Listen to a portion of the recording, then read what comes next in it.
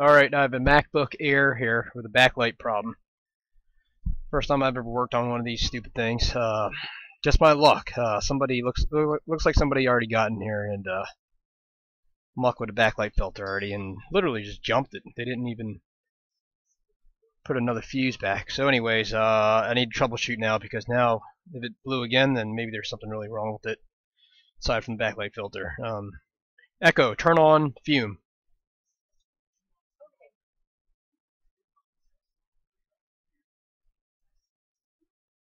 Look at this shit. Come on, man. Oh, someone to do that.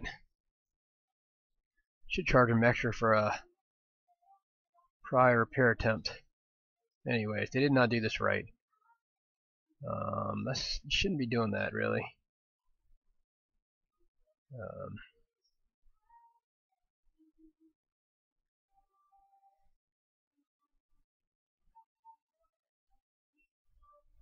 Okay, so that, I don't know if that's good or bad. You know what, let me test it with my multimeter.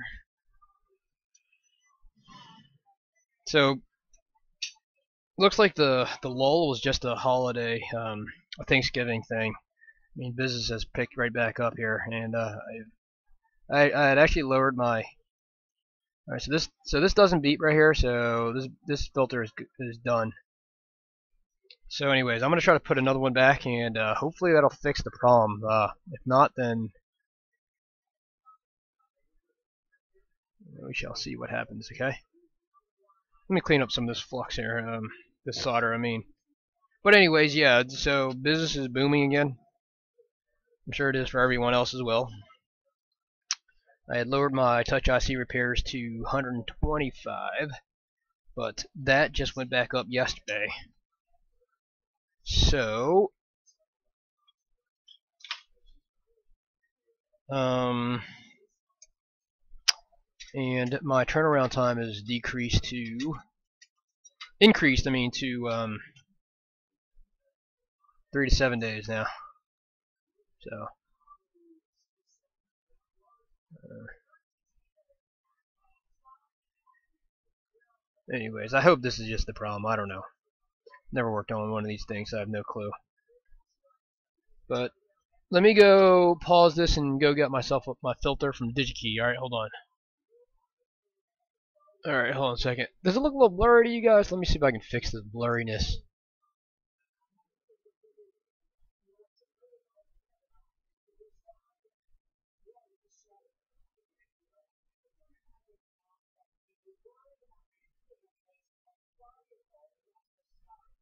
Alright, that looks better. Should probably just disconnect these HDMI stuff. Now it's blurry again. Dang it. Right, hold on a second. Get this.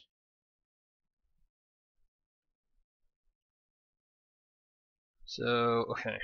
Alright. Anyways, uh, DigiKey sells these, I think it's like 10, 10 of these filters for 3 bucks. Cheap and it's a 32 amp um 32 amp 3 hold up. Sorry 32 volt 3 amp. Is that right? Yeah 32 amps too much. 32 volt 3 amp 0603 package. Alright so let's do it and let's see what happens. I hope this works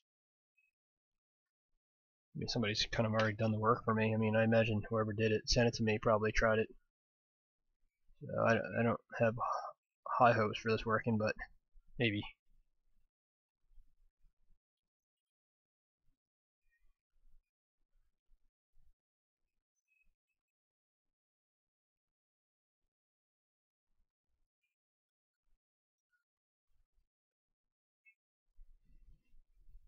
Yeah, I really don't. I'm not really not set up for this. I just don't have enough room for for MacBook stuff on my bench here.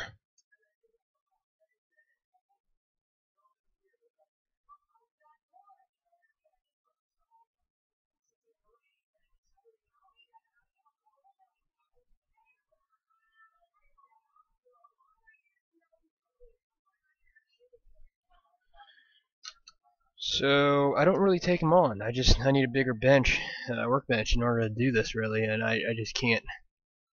But uh, these guys, they I do a lot of business with them, so I decided to take it on.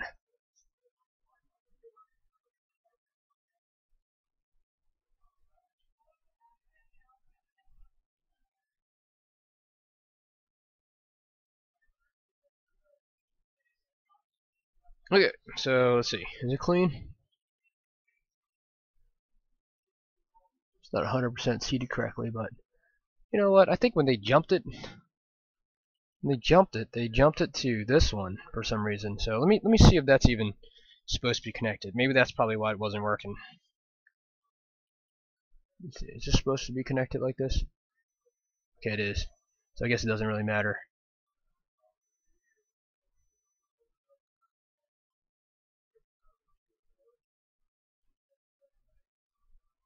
So I think this is, let's see, what is this? That looks like a filter. Could be a resistor, actually. Alright, let's see if this works. I'm going to power this puppy up, and uh, we'll see if it works. Alright, pause it. Alright, so replacing the filter did not work. Uh, I imagine it didn't work because somebody had already pretty much jumped it, you know, and everything looks pretty clean here.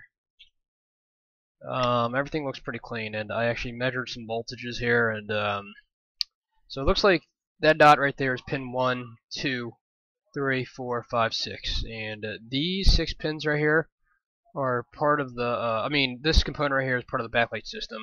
These were all 7 volts, and this one was about 2, 2, some, 2 3 volts. And this was the enable line. Alright, and I was getting 7 here and 7 here. Okay, so uh, everything also looks pretty clean. So, anyways, so I didn't suspect any the, any problem here. This is the backlight diode here, and uh, you know these pins right here, they all look clean as well. I don't really know a whole lot about these damn things, but um, you know you kind of just go through the schematics and kind of just work backwards, you know. And uh, usually it starts from the filter, you know. So, so I knew it wasn't going to be easy repair. so anyway, so I disassembled the logic board and took it out of its case. Um, which wasn't too hard actually. I was thinking it was gonna be a little bit more complicated, but so it looks like there's a backlight IC on the other side of the logic board. Okay, so I if I can zoom. Well, anyways, you flip it over. It's on the exact opposite side. That's why I have to had to disassemble the logic board. So backlight filter is here. Flip it over, same side, and this right here is known as the LP5 was it LP55 5880 I think? I think that's what it is. So this is considered this is the equivalent of uh, the backlight IC for the iPhone you know uh, U1502 um, it's a 24 pin chip I believe. Maybe it's let's see one two three four five. I don't know how many pins it is whatever. Just go to DigiKey and uh, do a search for LP 5880. I think that's the number. And they're about 250 a pop. So what I did was when I flipped it over and looked at it, immediately you can kind of see that right there. And uh, I think that is pretty much. I mean, it looks like it's corrosion. I don't know what's going on with this thing, but that does not look good. It's like black shit here. And uh, that pin right there is jacked up. Okay, so I've already placed an order for the backlight ICs. Um, I just bought five of these things because I don't anticipate fixing many, very many of these things. Um, not only that, but DigiKey ships pretty fast, uh, so I can, you know, if I needed them, I can order them and get them shipped to me pretty quickly. Okay, so I imagine once I replace this, then the backlight will work. But I will update, and I will update. Well, I'll get back to this video after I get the ICs, which will probably be uh, probably Monday, maybe Saturday. Highly doubtful since today's Thursday. So probably looking at another whatever few four or five days before I can get this thing done. All right. All right. So I got my chip here from DigiKey. Took about three or four days, three days maybe. Bust it out think it was about uh, 250 a, a pop or something like that. Got five of them. And I am going to install it now. So, let's make sure we have the right orientation before we uh, take the other one off, okay?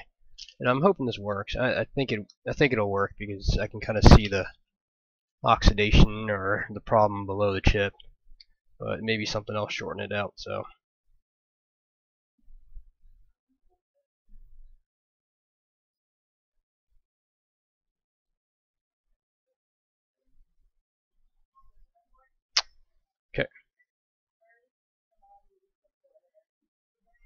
Alright, so here's my new chip. Uh, it's pretty much looks the same. So we will go from we will go that way.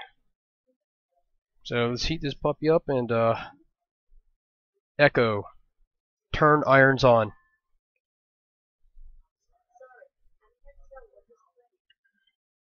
Echo. Turn irons on. Echo. Echo. Turn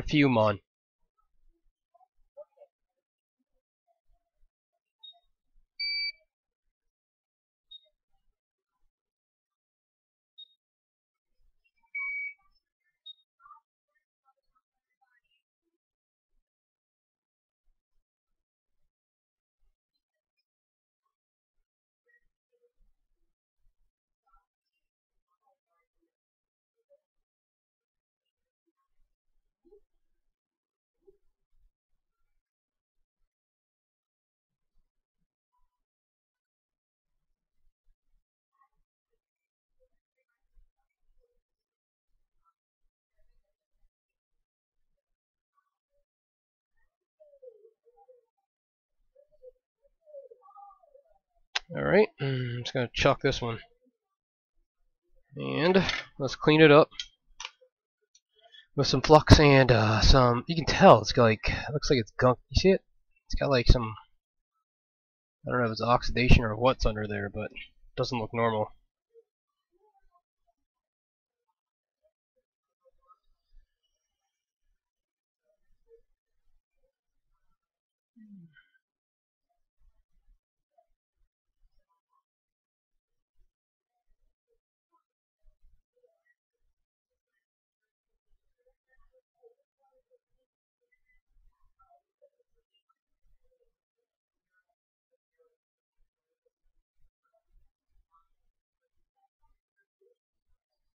I really want to tint it a little bit. So let's just do let's just do it right. Clean this up. And then let's uh let's just tint it a little bit, alright? Make sure we get a nice little solid bond on it. So that we don't have to do it again.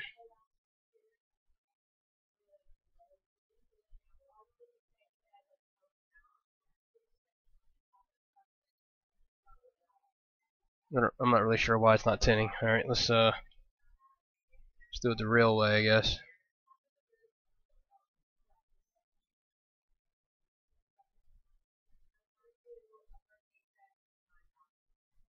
Okay. Uh, did I just jack something up? I did, yeah. So that's the problem. Okay.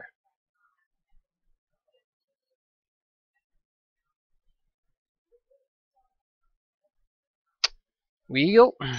Let's see if we can, I think we'll just use heat to get that button back on right there.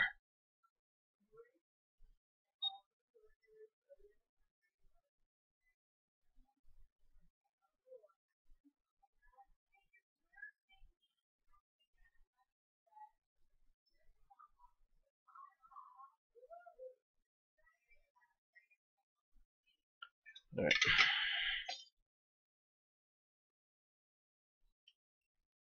Alright, one more time. Might be a little too much IPA there. No big deal. Alright.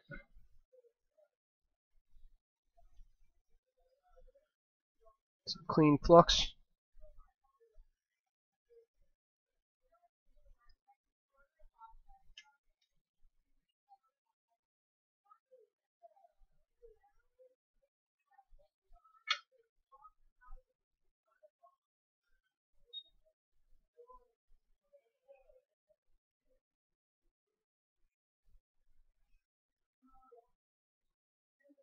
Alright, same deal. Just make sure it's hot and then make sure it kind of gets stuck.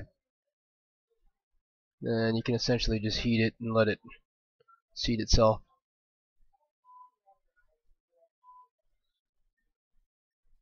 Get some more flux if you want. Just make sure you get a nice little bond on it.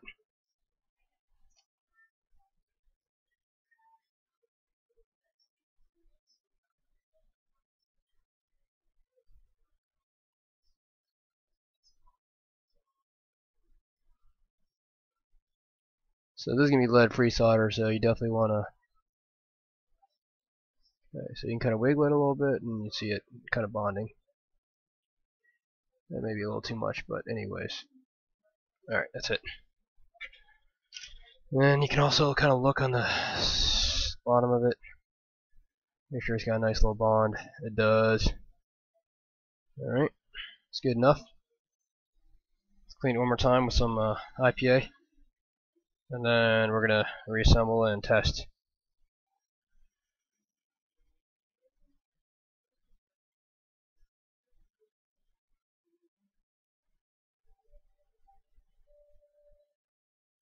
Alright, so let me pause this and then we will test it. So I just tested it and it worked. You'll have to trust me on it. I don't have a video because it is boxed up already. Alright,